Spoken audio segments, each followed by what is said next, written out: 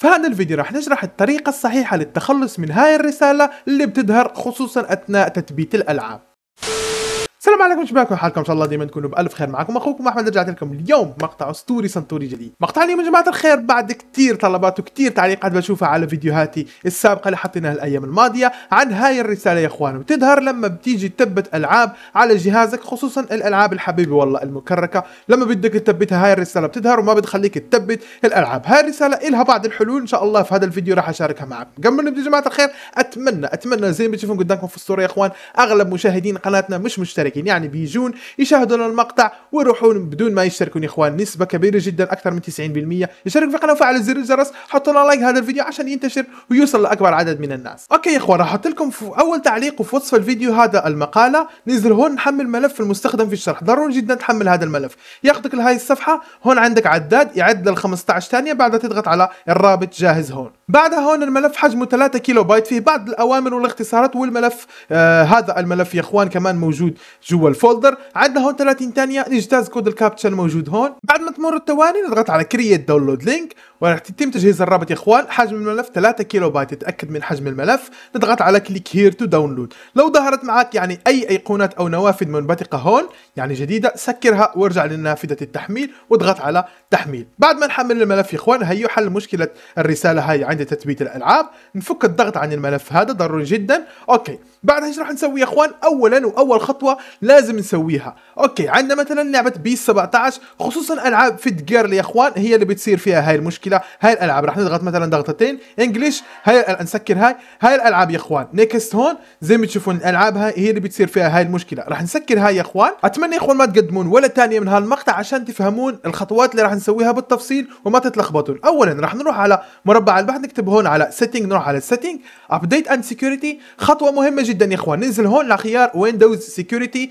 لويندوز ديفندر لازم تسكره. سكر ويندوز ديفندر عشان هو أحد الأسباب الرئيسية في هاي المشكلة يا إخوان. سكروا أنا شايل أصلا التطبيق يعني نزلته من الويندوز الخاص بي طريقة إيقافه يا إخوان راح تلاقوها في هذا الفيديو. تقدر توقف بها ويندوز ديفندر بعدها لو بدك تشغله لما نخلص الخوات تقدر ترجع تشغله مرة ثانية. بس أنا بسكره بعتمد على برنامج يعني antivirus احترافي Malwarebytes هاي زي ما بتشوفون يا إخوان. وكمان لو تستخدم برنامج حماية زي Malwarebytes Avast أي برنامج روحوا سكروا من هون لازم برنامج الحماية يكون متسكر قبل ما نبلش الخطوات. كمان يا إخوان راح نروح على مربع البحث نكتب كلمة control panel يا إخوان.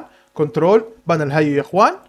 بعدها راح نكبر هاي okay؟ نكبر هاي. نيجي هون نحط large icons بعدها راح نروح على Windows Defender Firewall نروح على ال firewall يا إخوان الخاص بالويندوز. راح نيجي هون على خيار turn Windows Defender Firewall on or off يعني نسكره ولا نشغله. أنا already زي ما قلت لكم من ال admin مطفيه. نيجي هون على turn off Windows Defender Firewall نيجي هون نحط هذا الخيار ونحط الخيار الثاني هون ونطلع بالشكل هذا عشان نسكر ال firewall بعدها راح نيجي على هذا الخيار. نضغط ضغطتين بالشكل هذا يا إخوان عشان نعمل check لملفات اللعبة اللي محملينها إحنا عشان زي ما قلت لكم. برنامج الحماية ممكن انه يشيل لك ملف من ملفات اللعبة. هاي يا أخوان اللي محملينها إحنا ممكن برنامج الحماية يسبب لك مشاكل في اللعبة هاي. أي لعبة كيف ما كان نوعها سواء بيس 17 ألعاب بيس أو أي ألعاب ثانية زي ما تشوفون هون لو عندك علامة بالأحمر هون يعني الوضع عندك مش تمام ومش سليم. okay إيش راح نسوي يا أخوان؟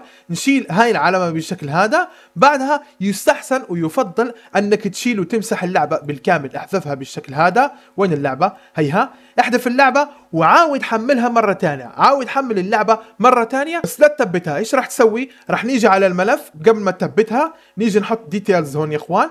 نحطها details زي ما تشوفون عندنا هون بعض الأوامر ثلاث أوامر هون. ملفات ال temp. رح نيجي ندخل على الملف الأول. هاي اختصارات يا إخوان بتضبط على أي جهاز. نيجي كل الملفات الموجودة جوا الملفات ال temp المؤقته رح نسوي لها delete نحذف كل هاي الملفات. أحذف كل شيء موجود هون أشر على كل شيء موجود. آه في بعض الملفات ما بتنحذف أشر هون واضغط على skip أشر مرة ثانية واضغط على skip نفس الشيء لملفات ال temp الثانية نيجي نأشر على جميع الملفات اللي راح تلاقيها موجودة هون. delete واحذفها. okay سوي لها delete ممكن تلاقي عندك أنت أكثر وممكن تلاقي عندك أقل. أشر هون skip أشر مرة ثانية و skip ملفات ال prefetch كمان ندخل جوا الملف. أي ملفات بتلاقيها عندك هون؟ احذف كل شيء موجود هون. بتنبثق معك أيقونة ونافذة هون تطلب منك يعني continue تضغط على continue وتمر للحذف. هون عندنا الملف ملف ال text هون عشان نحمل الملف يا جماعة الخير. نيجي هون ناخذ هذا الرابط. copy نروح على المتصفح الخاص بينا ونلصق الرابط بالشكل هذا. ننزل هون للأسفل ونيجي على الخيار الثاني. download بالشكل هذا يا إخوان عشان يتم تحميل الملف. هون بيقول لك بيعد خمس ثواني تقريبا. okay؟ بعدها راح نختار ال desktop سطح المكتب نفس الشيء للملف الثاني. نيجي ناخذ الرابط هذا بالشكل هذا ونيجي copy بعدها نلصقه في المكان هذا. ننزل تحت هون راح تلاقي بس عندك خيار واحد تحمله download استنى هون خمس ثواني بنفس الطريقة. ركزوا معي شوي يا إخوان وزي ما قلت لكم لا تنسوني يا إخوان ولا تحرمونا من لايكاتكم واشتراكاتكم في القناة. start download ونسكر. نشيل هاي وننزل. okay اولا الملف هذا. نفك عنه الضغط بالشكل هذا يا إخوان. نلاقي ملفين. راح تأخذ هذا الملف copy بالشكل هذا يا إخوان. تاخذوا النسخ This PC نروح على disk local C وراح نروح على ملف ويندوز ننزل للأسفل تحت. نروح ندور على خيار System 32 هيو. ندخل. وراح نسوي له لصق هون. نسوي له لصق للملف. نضغط على استبدال لو طلب منا استبدال ما طلب منا استبدال خلاص ما في مشكلة. راح نرجع خطوة ورا ولو بتستعمل إصدار 64 bit راح ندور على هذا الملف. هذا يا إخوان زي ما تشوفون قدامكم راح ندخل وراح نسوي لصق مرة ثانية لنفس الملف. هيو نسوي له لصق في المكان هذا. راح نطلع وراح نحذف هدول هسه. نروح على ال folder الثاني خلص راح أشيل هذا. ضل ال folder الثاني نسوي له استخراج. نفس الطريقة copy ناخذ هذا الملف. وراح نروح لنفس المسار. disk local C ويندوز. نرجع يا إخوان ندور على ملف System 32 بعدها نلصق الملف هون. نرجع خطوة ورا نروح لخيار هذا سايز نسوي له لصق. هون في المكان هذا ونطلع. okay هسه يا إخوان ضلت خطوة واحدة بس خطوة أخيرة. راح نروح على This PC هون. نضغط على properties بالشكل هذا. advanced system setting هون. راح تنبثق معنا هاي الأيقونة. نروح على advanced setting بالشكل هذا ونروح على خيار advanced programs change بهذا الشكل. وهون يا إخوان راح تلاقي عندك ممكن تلاقيها مؤشره هون عندك على خيار automatically نشيل عنه علامة الصح وراح تيجي على خيار ال C folder ال C أو يستحسن يكون ال folder اللي بدك أنت تثبت عليه اللعبة اللي تكون عندك فيه مساحة أكبر واللي بدك تثبت عليه اللعبة. نيجي هون على خيار ال C مثلا. نحطها custom size بالشكل هذا يا إخوان. بعض الناس وكثير ناس بشوفهم بيقولوا لك ممكن تحط هون 100 وهون تحط 3000 يعني 3000 في المكان هذا تضغط على خيار set بالشكل هذا بعدها نضغط على okay وبعدها راح يطلب منك تسوي restart وتضغط على apply وتضغط على okay بعدها okay وتعمل restart في المكان هذا. سوي restart وشوف انحلت معك المشكلة ولا لا. لو ما انحلت المشكلة في خطوة أخيرة بدي أطلب منكم تسووها يا إخوان. راح تيجي مثلا على folder اللعبة. كمثال هذه هي اللعبة. حاول تغير اسم اللعبة. مثلا غير اسم ال folder بالشكل هذا. غير اسم ال folder. بعدها يا إخوان راح ناخذ الملف. بالشكل هذا ناخذه cut ملف اللعبة بتكلم. نروح على This PC يستحسن تاخذه هون على ملف Program Files x 86 وتحط الملف في المكان هذا تحطه لصق يعني خذه يعني cut ما تاخذه copy خذه كامل قص وجيبه هون ل folder x 86 بعدها ادخل للملف وثبت اللعبة. لما تخلص تثبيت تقدر تشيل الملف هذا وخلي بس الملف اللي تم تثبيته. زي ما قلت لكم هاي الطريقة هي اللي تقدرون تحلون بها المشكلة.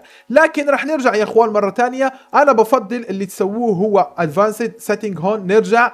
advanced في المكان هذا program change لو ما ضبطت معاكم يعني نرجع هون لخيار custom في المكان هذا في ال value هذا راح نحط يعني نشوف إحنا جهازنا شو هو أصلا. مثلا راح نيجي هون على ال recommended يا إخوان هون. عندي 2930 راح آجي هون وأكتب 2930 في هذا المكان. ال recommended نكتبها هون. وهون في الأسفل يا إخوان راح نيجي على ال calculator بالشكل هذا نكتب calculator الآلة الحاسبة أو تقدر آه، تستخدم بس موبايلك. المهم راح نيجي على ال value هذا 2930 وراح نعمل له ضرب 2 بالشكل هذا يا إخوان. ضرب 2 يساوي 5860 هذا ال value هو اللي راح نحطه هون. 5000 و860 لا تحط الرقم زي الرقم اللي عندي. انت راح تشوف ال value اللي عندك في خيار recommended هون. 2000 أنا عندي 2930 انت الرقم اللي لقيته عندك هون راح تجيبه تحطه في المكان هذا والقيمة اللي راح تحصل عليها هي اللي راح تكتب في خيار ال maximum. تضغط بعدها على خيار set بالشكل هذا. تضغط على okay okay بهذا الشكل. apply okay نضغط على okay وراح أقول له أنا ما راح ارست حاليا أنت لازم ترست ضروري وهيك بإذن الله تتخلصون من المشكلة. زي ما قلت لكم يا إخوان ضروري جدا تسووا الخطوات زي ما سويناها في هذا الشرح وبإذن الله راح تتخلصون من هاي المشكلة. مرة ثانية يفضل ويستحسن أنك تشيل اللعبة وتعاود تحملها مرة ثانية عشان ممكن يكون صار في خطأ في ملفات اللعبة بعد ما حملتها. سواء برنامج ال torrent أو أي برنامج تحميل لما بتحمل اللعبة ممكن برنامج الحماية يسوي عندك مشكلة. لما تخلص جميع خطوات التثبيت وتثبت عندك اللعبة أمورك صارت في السليم ارجع شغل برنامج الحماية وال firewall الخاص بك عشان ما تصير عندك مشاكل. أتمنى يا إخوان تكونوا يعني استفدتوا من هذا الشرح وتتحل معاكم المشكلة. لا تحرمونا يا إخوان من اشتراكاتكم في القناة. اشتركوا فعلوا زر الجرس. بإذن الله بدنا نوصل ل 50 ألف مشترك في أسرع وقت ممكن. كمان يا إخوان زي ما قلت لكم أغلب مشاهدين قناتنا مش مشتركين في القناة فالله يسعد لي إياكم. يا رب اشتركوا في القناه فعلوا زر الجرس. like لهذا الفيديو. انزلوا تحت الكومنتات اكتبوا لنا تعليق لو عندكم أي استفسار أو حبيتوا بس اكتبوا لنا أي تعليق. نفس التعليقات موجودة في الأسفل. ما ضل شيء يا إخوان غير أودعكم على إن شاء الله أشوفكم مقطع اسطوري سنطوري قادم. السلام عليكم ورحمة الله.